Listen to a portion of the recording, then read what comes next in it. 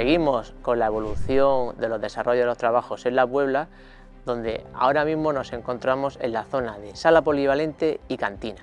Aquí tiene una ventaja con respecto a la finca que teníamos en Torre Pacheco, donde se puede ver directamente la zona de cultivo de campo mientras se están tomando el desayuno o están teniendo unas jornadas abiertas.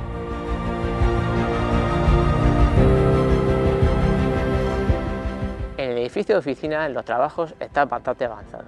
Exteriormente ya se pueden ver todos los ventanales que se han creado para las nuevas oficinas e interiormente las dos alturas de la planta con su escalera eh, correspondiente. También los trabajos de Pladur se están progresando a buen ritmo y los trabajos eléctricos, de fontanería y de internet también están eh, continuando con su progreso adecuado.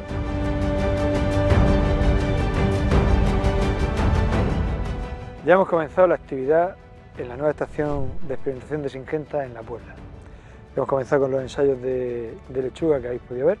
La siembra de cereal que hicimos para mejorar la estructura del suelo va muy bien.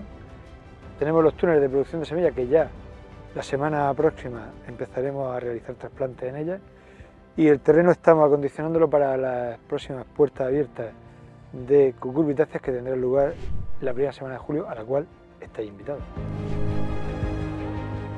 Habéis podido ver cómo estamos avanzando en nuestra nueva localización en La Puebla, os lo ha podido enseñar Juan Enrique y Salva, y vamos a poder ver ahora mismo cómo estamos avanzando, empezando por nuestra zona de extracción, procesado de semillas, donde tenemos una de las mayores ambiciones dentro de este proyecto, generar nuestros gemelos digitales.